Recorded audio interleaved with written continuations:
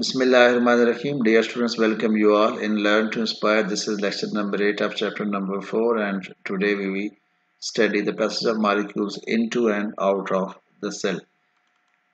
जैसा कि पता स्टूडेंट्स आपको कि जो सेल मेम्ब्रेन है वो सेमी परमेबल मेम्ब्रेन होती है और जो मटेरियल्स हैं डिफरेंट मटेरियल्स की मूवमेंट होती है that takes place through the cell membrane into and out of the cell दूसरे अल्फाज में ये कह सकते हैं कि सेल मेम्ब्रेन जो होती है उसका काम होता है सेल के अंदर एनवायरनमेंट को एक ख़ास इक्विलिब्रियम लेवल पे मेंटेन करना।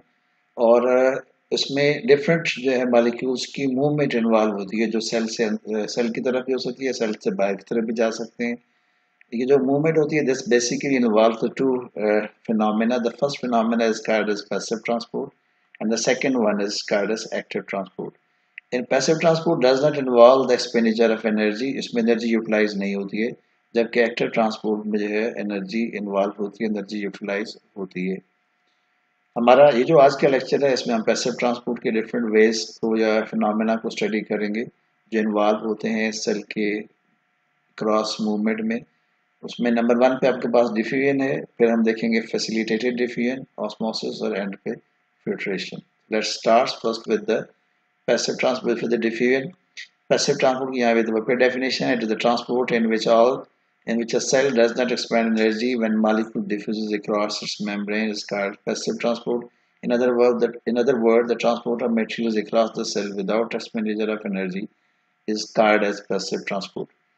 और इसमें जो पहला फिनमिना है वो डिफ्यूजन है तमाम मालिक्यूल जो है वो एब्सोल्यूट जीरो पे यानी minus two seventy three degree centigrade से जब टेम्परेचर ज़्यादा होता है तो मूवमेंट शो करते हैं and that is called as diffusion diffusion takes place from higher concentration to lower concentration यहाँ एक बहुत इंपॉर्टेंट टर्म बताता चलूँ, जो आमतौर पर लिखी जाती है, ये लिखने में आती है that is concentration gradient concentration gradient mean difference of concentration और इसके लिए फिर हम आगे से दो तरह के जो है, वो टर्म्स यूज़ करते हैं। एक होती है towards concentration gradient mean from higher concentration to lower concentration और जो दूसरी है वो कहलाती है against concentration gradient means from lower concentration to higher concentration तो यहाँ देखिएगा जो है ये डायग्रामेटिक है। कली इसको डिफ्यूजन को शो किया गया है। ये बेसिकली हायर कंसंट्रेशन है, ये लो कंसंट्रेशन है और यहाँ से मालिकूल्स की मूवमेंट इस डायरेक्शन में होगी।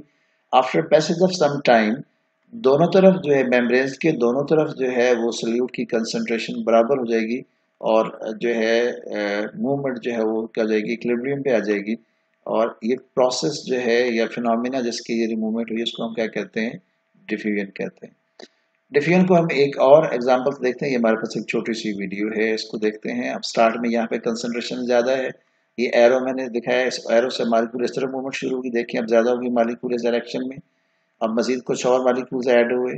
फिर कुछ मालिकूल जिसमें मजीद अभी और ऐड होंगे। देखिए, अब और ऐड होंगे। ये अल्टीमेटली उस वक्त तक होता रहेगा जब दोनों तरफ़ जो है वो कंसनट्रेशन बराबर नहीं हो जाती मालिकूल की। अब देखिए, ये इस स्टेट में, दोनों डायरेक्शन में कंसनट्रेशन इक्वल हो गई है। और आ, लेकिन अब भी ये प्रोसेस स्टॉप नहीं करता। बल्कि क्या होता है कि जब नेट मूवमेंट होती है वो कांस्टेंट हो जाती है लेकिन मालिक दोनों डायरेक्शन में मूव करते रहते हैं and this state is called as equilibrium state जो डिफरेंट फिनमिना जिन डिफियन जो है जिसमें इन्वॉल्व होती है उसके एग्जांपल देख लें कि आपके पास जो है जो परफ्यूम जब लगाते हैं लोग तो ज़ाहिर that spreads in the room similarly वो प्रोसेस में डिफियन का इन्वॉल्व होता है। Uh, similarly जो है the spread of the fragrance of flowers in the garden is, is, is another example of diffusion uh, living organism के अंदर जो gaseous exchange है at lungs level that involve the process of diffusion और uh, जो food digested food जो होती है जो small intestine से villi में enter होती है chapter number eight में आपने देखना है इसे that also involve the uh, phenomena of diffusion similarly gaseous exchange in fish takes place through gills and that is also an example of diffusion.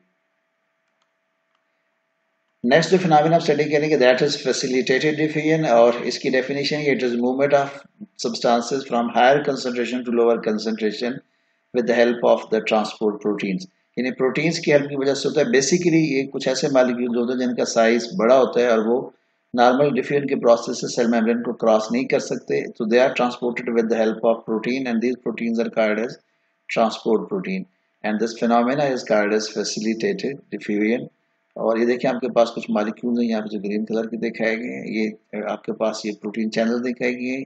यहाँ भी लिखा हुआ है कैरियर प्रोटीन्स और देखेंगे इनमें से पास करके सेल की दूसरी तरफ़ जा रहे हैं। ये आपके पास प्लाज्मा मेम्ब्रेन है बेसिकली इससे क्रॉस करके जा रहे हैं। So this is an example of the facilitated diffusion next आपके पास जो टॉपिक है दैट इज़ ऑस्मोसिस ये बहुत ही इंपॉर्टेंट टॉपिक है। यहाँ पहले मैं इसकी सिंपल सी डेफिनेशन आपको बता दूँ। The first definition of the osmosis that it is the movement of water from higher concentration to lower concentration through semi permeable membrane या फिर इसको मजीद सिंपल सी इसकी डेफिनेशन किया कि it is diffusion of water through semi permeable membrane इसके process को समझने के लिए हम पहले एक कंसेप्ट स्टडी करते हैं टोनोसिटी का। Tonicity basically the study of the relative concentration of solution the solution इसका मतलब ये हुआ कि ये रिलेटिव टर्म्स हैं जो जितनी दी गई आपके पास हाइपरटोनिक हाइपोटोनिक और आइसोटोनिक और अगर हम खाली एक वर्ड हाइपरटोनिक लिखते हैं तो उसका कोई मतलब नहीं होता। बेसिकली इसको हम कंपेयर कर, दूसरे मालिक्यूल से जो है जब कंपेयर करते हैं तो फिर हम यूज़ करते हैं। और ये डेफिनेशन में भी देखें, a hypertonic solution has relatively more solute. It's mean it is being with some other solution किसी और सोल्यूशन से कंपेयर कर रहे हैं और हाइपोटोनिक सोल्यूशन हमारा वो सोल्यूशन है जिसके अंदर सोल्यूट की कंसंट्रेशन ज़्यादा है। Hypotonic is can, has relatively less solute concentration and isotonic solutions are those which have same concentration हमारे पास ये एग्जांपल है ए बी सी डी चार आपके पास सोल्यूशन है। इसमें सेवेंटी परसेंट शुगर सोल्यूशन है इसमें फोर्टी परसेंट इसमें भी फोर्टी परसेंट है और ये थर्टी परसेंट है। तो अगर देखा जाए तो सबसे ज़्यादा जो सोल्यूट की कंसंट्रेशन है वो इसमें है, यानी it is hypertonic as compare to all the other solution और ये आपके पास सी और डी सी और बी जो है, इन दोनों के अंदर फोर्टी परसेंट है। इसका मतलब है दोनों की कंसंट्रेशन सेम है so they are isotonic as compare to each other और जो ए है, इसमें सोल्यूट की कंसंट्रेशन चूँकि जो है वो सबसे कम है so it is hypotonic as compare to all the other solutions तो ये हमारे पास एक रिलेटिव टर्म्स आ गई। अब हम वापस दोबारा, अब उसमें जाते हैं अपने ऑस्मोसिस की एक्सप्लेनेशन में। देखिए, अब आपके पास ये दो सॉल्यूशन है। एक आपके पास ये है, एक ये। This is hypertonic this is hypotonic और वाटर इसके अंदर क्या है? ज़्यादा है। इसमें वाटर क्या है? कम है। इसमें रिलेटिवली प्योर वाटर है और इसमें क्या है? इम्प्योर वाटर है। जो ऑस्मोसिस है दैट इज़ इन नेचर जो नेचुरली अकरिंग फिनोमिना जो है, ये नेचर में क्या होता है कि कहीं भी आपको वाटर प्योर नहीं मिलता।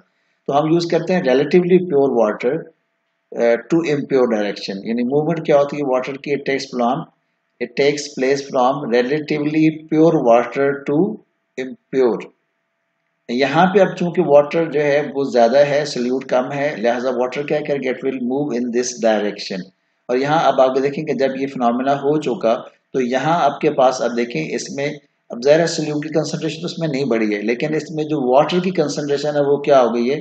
कम हो गई है और ये वाटर इस डायरेक्शन में मूव कर गया है। अब ये वो स्टेट है जिसमें दोनों तरफ़ सल्यूट की कंसनट्रेशन इक्विलिब्रियम में।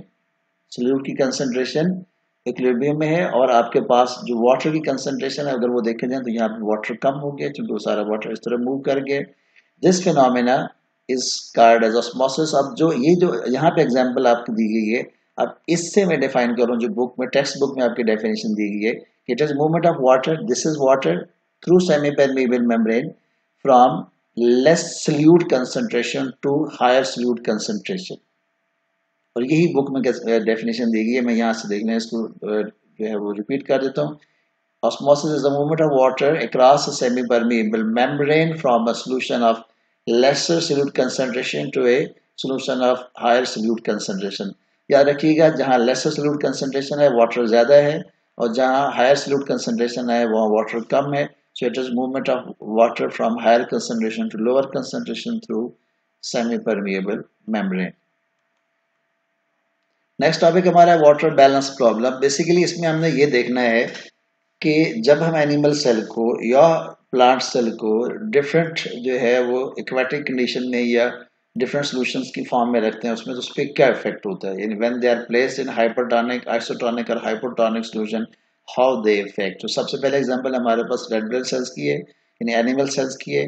जब हम इनको हाइपरटोनिक सॉल्यूशन में रखते हैं तो उसमें से वाटर मूव कर जगह water will move out of the cell and the cell will shrink यानी सेल की क्या हो जाएगी? श्रिंकेज हो जाएगी।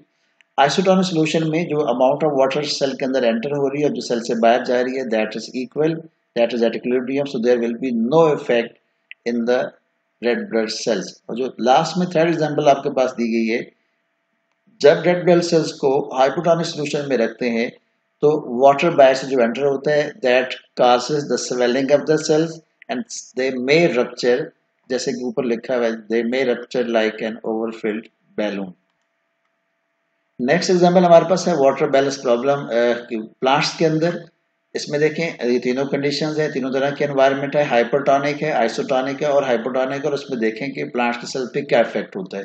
देखें जो पहली स्टेट है इसमें, ये आपके पास बेसिकली जो है, वो हाइपोटोनिक सोल्यूशन है।